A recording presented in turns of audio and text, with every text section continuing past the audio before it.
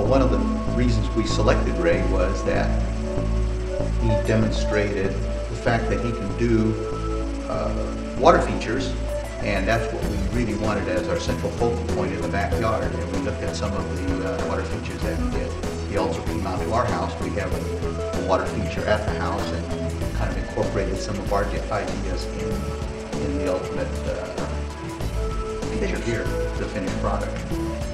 Uh, I would say, I mean, Ray was reliable. He did what he said he was going to do when he said he would do it. Uh, he started the job and stayed on the job until it was finished.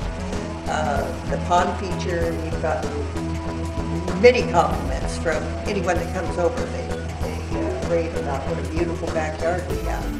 And I, I just feel, uh, you know, we got to know Ray uh, personally and uh, felt that he was honest and had integrity, and these are, this is the kind of person that we want to do business with. And we're very pleased with his work. And Ray also services what he sells. He maintains, he did the landscaping, and he can do the maintenance work, so that really makes a difference as to what our decision ultimately uh, turned out to.